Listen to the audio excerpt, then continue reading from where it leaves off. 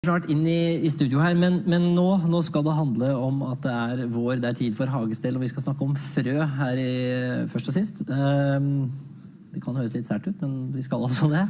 Uh, Marit hun har uh, i den anledning besøkt uh, en kolonihage på Sogn i Oslo. Det er deilig her, da. Hva, har du et visst blandingsforhold? Nei, det tar jeg på slump. Ja. Liker frøene det at det er hansker og sånn? Altså, det bryr ikke de seg om. Hvilke frønyheter har du satset på i år? Det er disse. Tiden er jo inne nå for å beskjære busker og trær og, og sånne ting. Det har du gjort. Hva med ugress? Røsker du det opp med, med litt sånn kald eh, hånd? Ja, det gjør jeg. Du bare klipper helt vilt, da, eller? Ja. Man må liksom ha en litt hard hånd nå, det virker det som. Ja, den er nødt til å være litt, litt brutal. Ja. Er det en hemmelighetsfull hage du har? Nei. Hva er dette for noe? Det er bare Au! Hva da? Det er Oi. en rose. Det er en rose, ja. Er det mange som reiser hit på feriekoloni? Det er ikke noe feriekoloni. Har du noen gode råd til de som nå skal i gang med frø og hage og Det er faktisk ikke riktig til å gi råd om, altså. Nei. Du har ikke noe Altså Det er ikke noe Men noen gode tips har jeg ikke.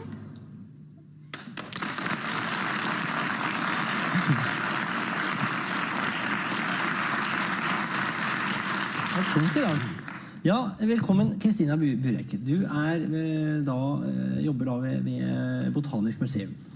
Og du kommer for å fortelle oss litt om frø. Det gör jag. Jag har med mig en kurv full. Men först skulle jag vilja säga en ting om detta med Tor Heyerdahl.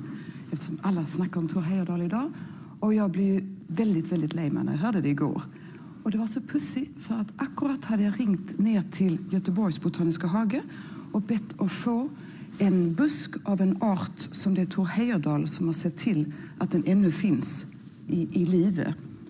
Han eh, var ju på Påsköja och för ham så var ju Kapten Cook där.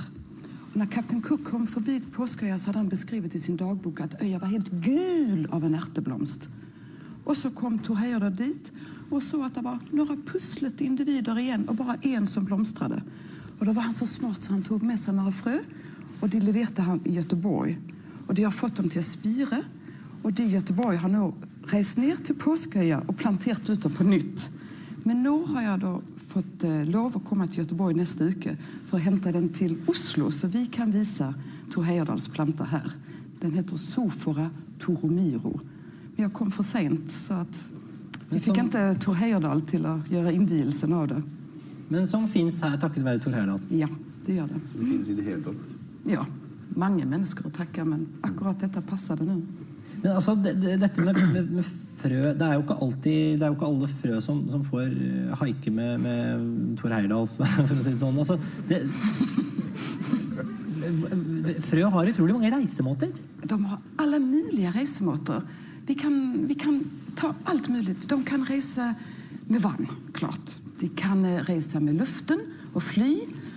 De kan eh, reise utenpå mennesker eller utenpå dyr eller fjær. Og de kan reise innvendig, så vi kan spise opp dem og skite ut dem et annet sted. Det fins alle muligheter for dem å reise. Du har med deg noen eksempler? En ja. kurv? Jeg skal ikke vise akkurat det der siste. Her har vi ja. Dette er noen ting som vokser i Mexico.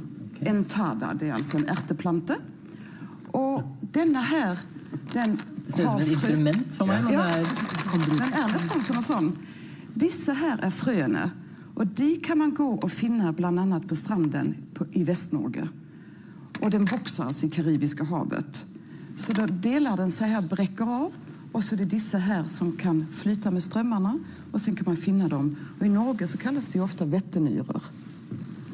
Det er jo en, et sånt spesielt eksempel Ja. på noen som kan virkelig ha langdistansentransport. Men her er det mange andre sånne Vi kanskje skal ta et er det et frø? Ja. Litet nettfrø. Snakker om magetrøbbel, altså.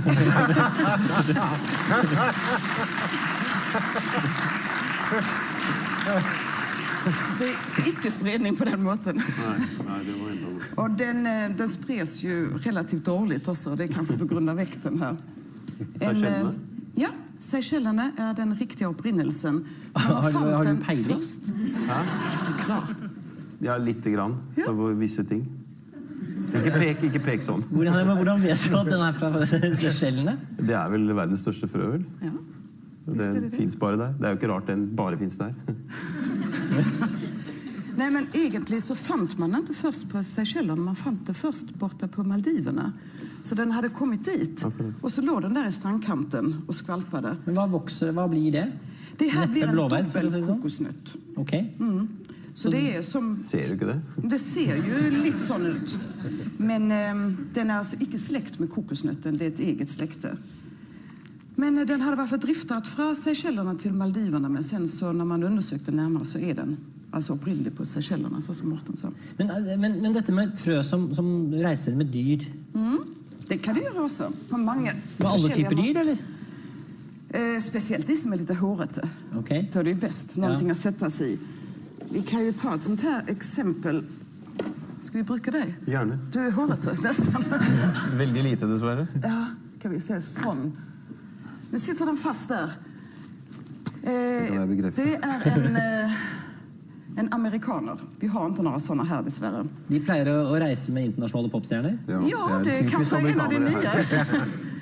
en mulddyrskleiv. Och den har ju verkligen specialiserat sig på att den kan sätta sig fast i ett eller annat pattedyr som kommer förbi och så vandrar med den och så står kanske dyret och gnur sig mot ett trä och så detter den av. Och detta är frukten och inne där sitter fröna och så kan de falla ned och så kan de börja spira. Altså, det- eh, et, et frø eh, Folk holder jo på og så har de kjøper de sånne frøposer og så ligger de noen år. og sånn. Hva er egentlig holdbarheten på et frø? Det är väldigt forskjellig. Det bästa är ju om fröet börjar spira relativt raskt. Så för alla frö så minkar ju spiredyktigheten för vart år. Det står ju på fröposarna, bör brukas för tre år. Men eh, man har ju funnit gamla frö i arkeologiska funn och nedgravde.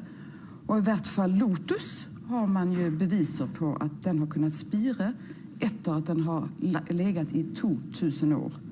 Och nu är det en nyhet att man har funnit frö av en lupinsort som har legat i sån här permafrost så man tror att den kan ha överlevt helt sedan istiden.